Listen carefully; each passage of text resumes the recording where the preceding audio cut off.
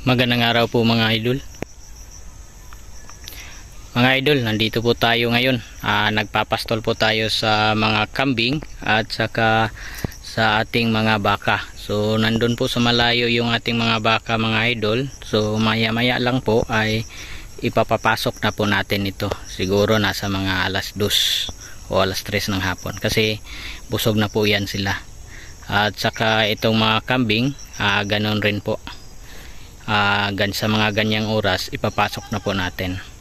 So marami po yung mga kambing natin dito na pinapastol mga idol oh. ayan po sila. So meron pang mga anak nila kasama. So mamaya mga idol uh, papakainin rin natin yung mga baka natin ng pineapple pulp. Lud!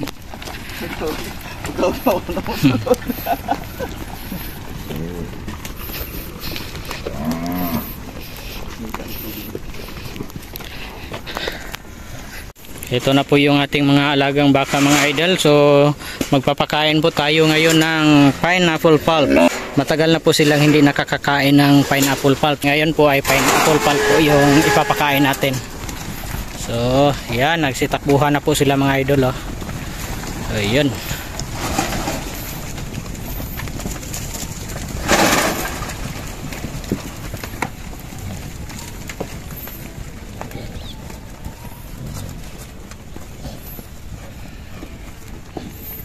Yan.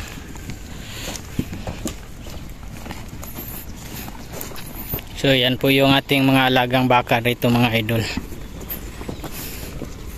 Yan. So matagal na po silang hindi nakakain yan ng pineapple pulp. So yan. Uh, ang lakas nilang kumain mga idol. At saka doon, meron pa doon. Nasa trailer, hindi na natin binaba. Uh, kasi kulang po tayo sa lagayan ng pineapple pulp. So mauubos rin nila yan mga idol. Yan.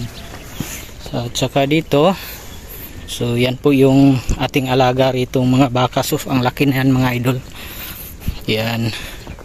So yan kumakain na po sila mga idol. Yan po. So yan po pineapple pal po yung kinakain nila. Ang lakas nilang kumain mga idol. Oh. So yan po yung ating mga baka rito mga idol.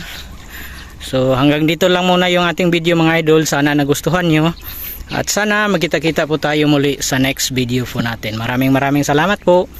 Take care always and God bless. Bye bye.